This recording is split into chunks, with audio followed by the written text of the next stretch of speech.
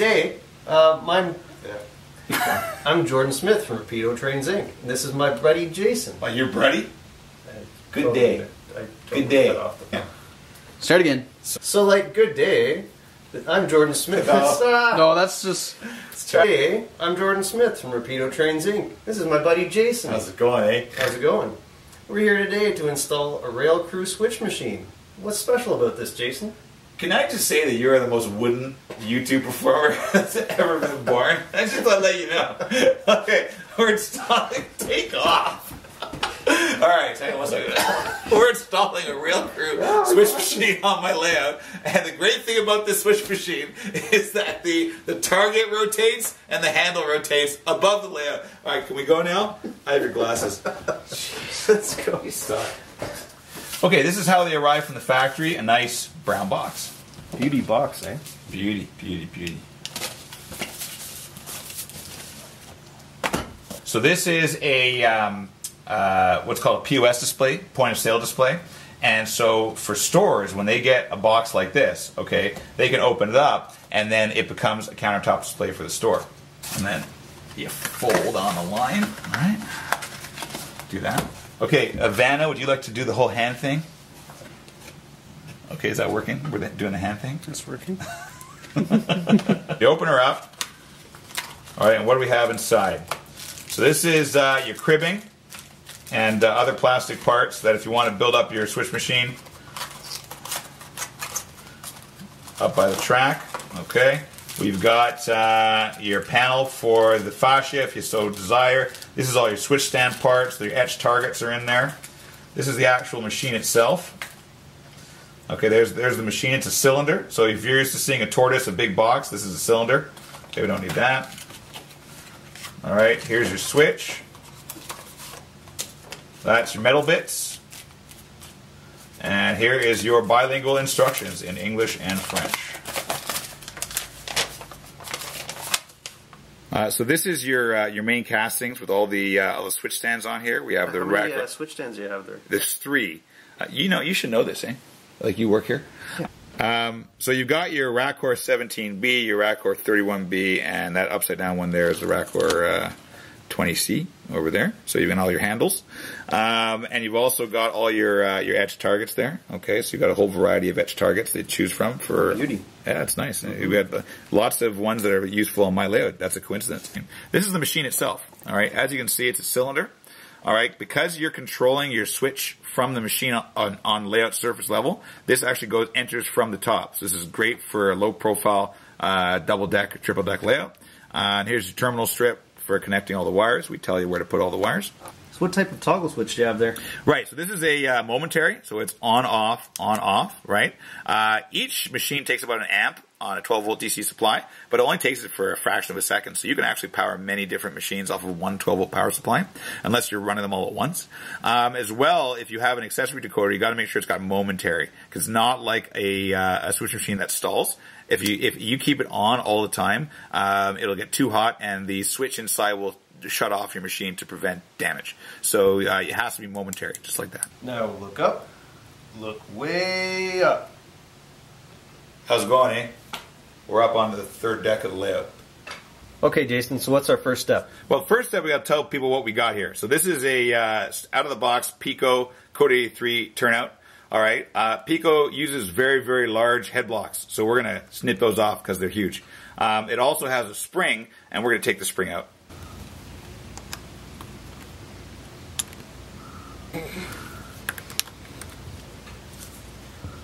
There's the spring.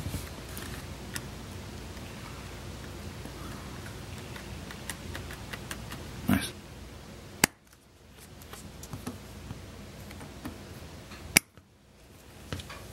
Measure one inch off the rail, and that's where we'll drill the hole for the machine. Good.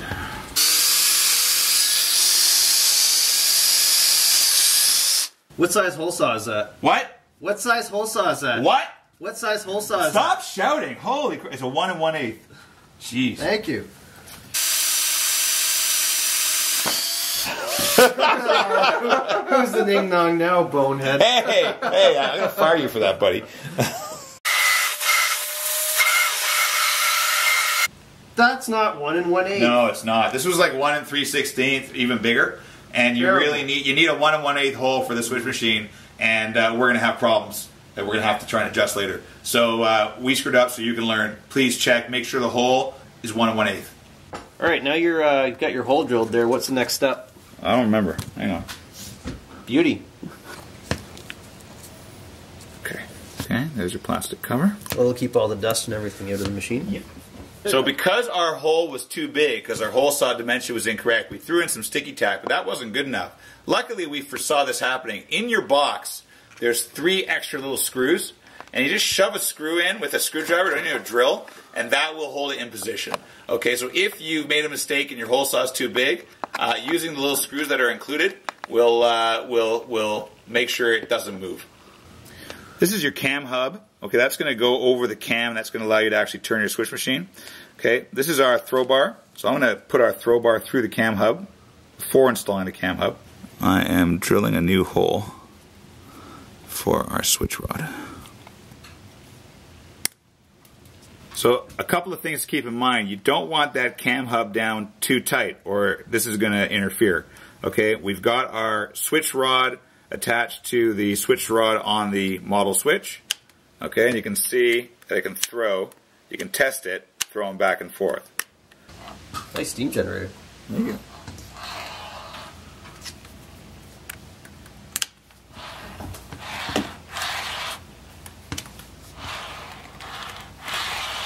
So this is the first one we're doing.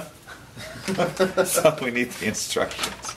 Should be in there somewhere. Shoot, I pulled the drawer out. Oh, way to go, Hoser. Such a bonehead. Is that the one? It's a power supply. Hang on. 12 volt, 1.5 amp. Yeah, that works. All right. So uh, we all have a bunch of these kicking around the house uh, because just don't throw them out. And I think this is from um, a shaver.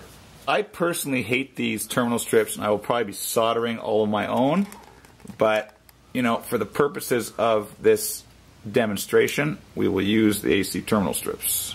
We don't actually have a fascia yet, so this is very much a temporary thing. So I'm I am going to use the plate though, uh, and I'm going to uh, install it just to an exposed joist.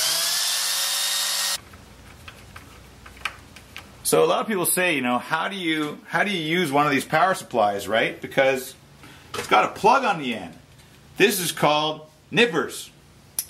Plug is now gone. Always use a real wire stripper. It'll save you big headaches later. It is much better to use heat shrink than to use masking tape or electrical tape because it doesn't take up any room. So even though I am just wiring this in temporarily, I'm still using heat shrink.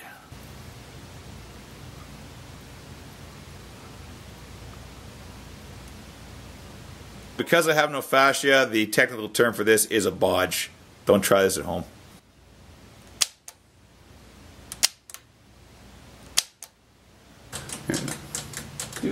What are you doing, you ning nong? Oh, you're such a So much fun. Look, look, look, look at that. Nothing. Okay? Oh. The heat switch has gone off. It's going to be off for half an hour now. Okay. Uh, once you have these set up, don't let your kids or grandkids play with them.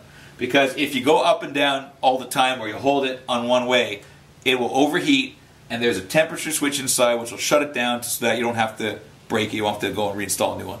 So don't do that. Otherwise, you're gone for half an hour. All right, you're in a penalty box. Okay, so what are we doing uh, here now? These are uh, head block extensions. Um, so what you do is you, you line up the hole in your head block extensions with the uh, with the uh, cam hub, right? And then we've already marked there, one of those marks is correct, where we're going to trim those so that it goes up against and looks like the head block. Okay, so I see you've also got two different uh, sizes of head blocks. Uh, what's that all about? So this is a scale size head block extension. You got a micro engineering switch or some other more scale switch. You can use these, um, but we're using Peco, which has quite heavy duty uh, head blocks. So we've got a, a fatter head block here. Everyone's switches are different, unfortunately. So we're going to get uh, we're going to trim this. And we're going to build up our switch stand, and we're going to get it all installed. Have I got the top on this? No. Working hard. Very hard. Ah, my eye. Ha! This is it. That's it right there. There's your target. It's 31B. Because I'm doing the cutting and holding should be okay.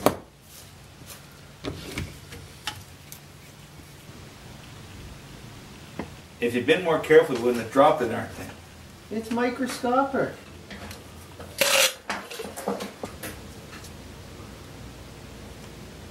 Okay, this is our uh, Racor 31B switch stand base. All right, and this is our uh, rod or pole, for lack of a better word, our target sits on. Uh, it has to be a total smooth movement in and out.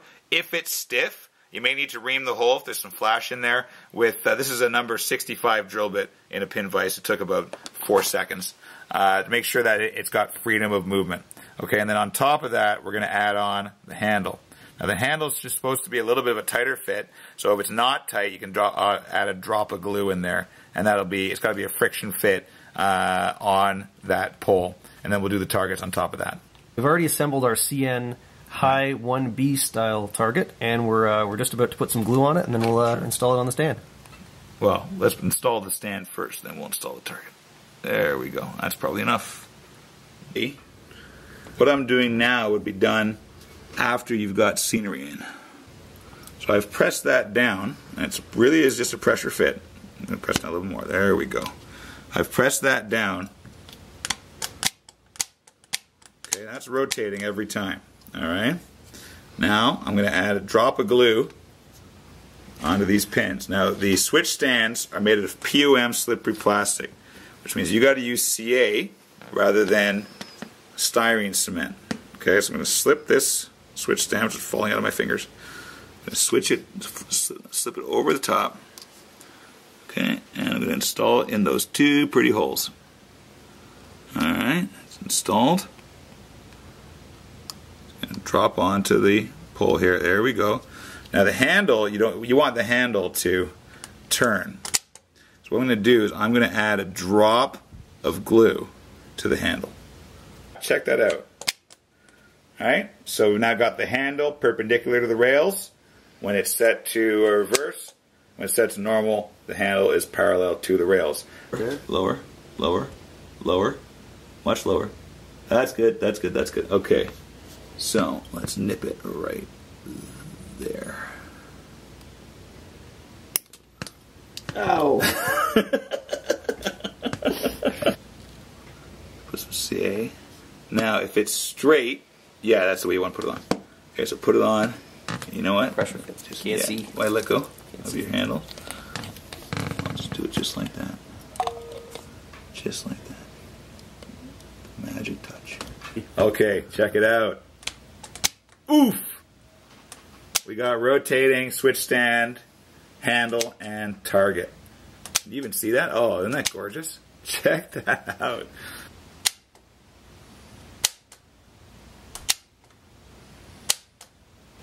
I'm a big fan of soldering. I hate those suitcase connectors. You see all of these uh, all these terminals on the terminal strip. We've actually you can actually uh, power two sets of accessories on this. So I'm going to use this side to power the frog, and this side later on will probably go to a signal system. Okay, so I've I've tapped in the red wire is tapping into my south DCC bus, and the black wire is tapping my north. I've got a green wire here, which is which is the wire that's coming from the frog on that particular switch. Now what we have to do is got to use a, a, a circuit tester to make sure that we haven't got these red and black wires reversed. The only way to do it, trial and error.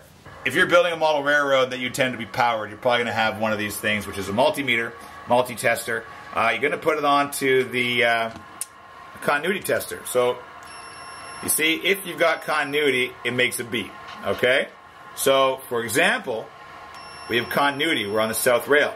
This is line for straight. The frog should also have continuity with the south rail. It does. Okay? Now we check the north rail. Continuity. North rail and the frog should now not have continuity. Bingo. This is now wired properly, so the frog is now powered. My frog section is actually about three inches long.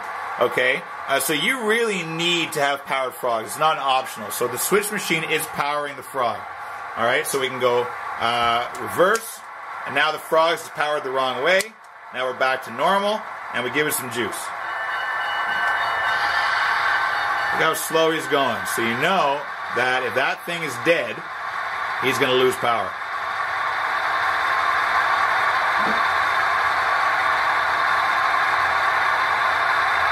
Beautiful.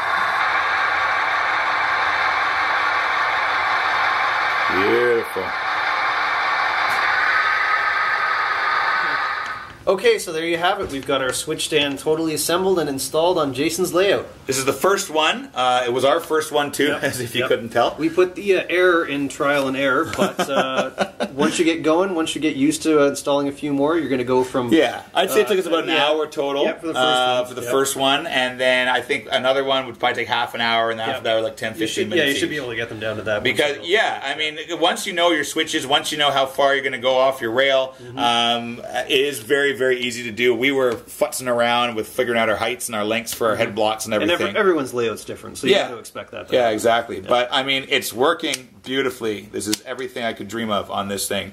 And it, look, Tortoise by Circuitron is the world's best-selling Mm-hmm. switch machine power thing, and and uh, we don't we don't ever want to try and replace uh, Tortoise. We want to be number, Mm-hmm. Number two. two. We want to be number two. So uh, for number two, Rapido Trains, Rail Crew, Switch Machine. We hope you'll order them. They are on the water now. When this when we're filming this, they'll be Yep. here in a few weeks. So by Yep. the time you watched it, By they're probably November. in Yep. your in your hobby shop, and uh, we're gonna always have them in stock. All right, that's good. Uh, that's Jordan, Jason from Rapido signing off. Take care. Okay. It wasn't bad. That was great.